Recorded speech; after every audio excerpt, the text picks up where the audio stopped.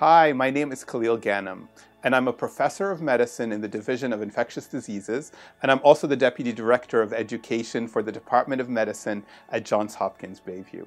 I have the great privilege of directing one of the unique features of our program, the scholarship pathways.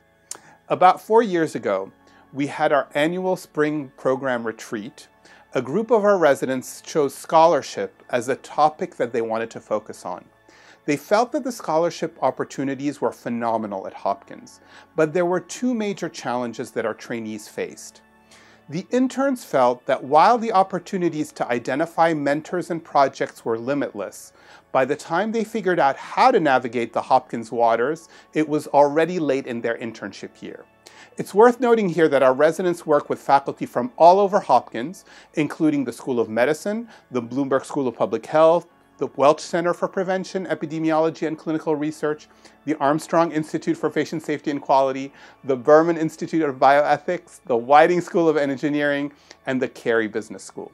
So the interns wanted help navigating these waters in order to identify potential mentors and projects early on in their internship year. The second challenge was one faced by the second years.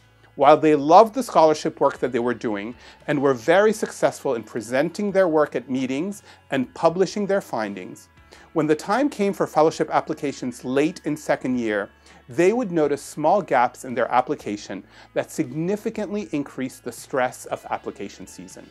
Perhaps you've experienced that this year. They requested a mechanism by which these gaps could be identified earlier in their second year, thereby mitigating the stress associated with fellowship applications. So to address these two challenges, we created the scholarship pathway four years ago, and I have the great joy of overseeing that pathway. So here's what I do.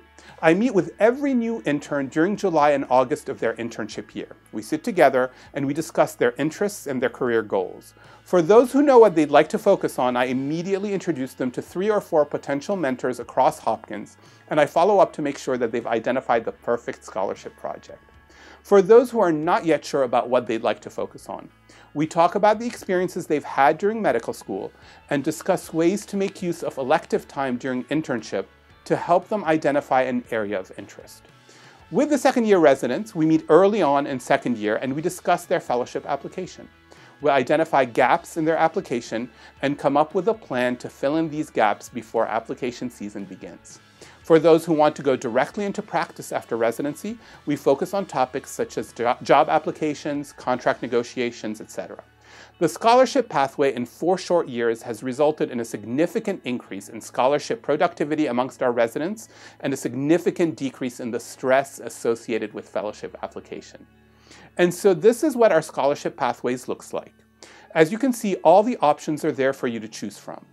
The pathways in red, the physician scientist pathway, the public health and global health pathway, and the education pathway, are combined between the Bayview program and our sister residency program, the Osler program at Johns Hopkins Hospital.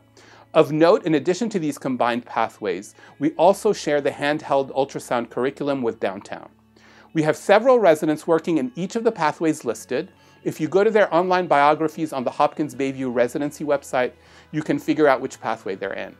Feel free to contact them to discuss their experiences. They all would be happy and welcome your contact. Finally, our latest innovation was introduced two years ago. Our residents suggested that they would like their own funding independent of their mentors' funding to work on their own ideas. So we introduced the PRISM grants. These grants are one-year grants and provide the residents with $5,000 to bring their idea to life. All they have to do is submit a two-page proposal which is reviewed and scored by independent reviewers. In 2019, we awarded five grants ranging in topics from stem cell research to promoting humanism and discharge summaries and everything in between. The 2020 applications are in, the grants are currently being reviewed.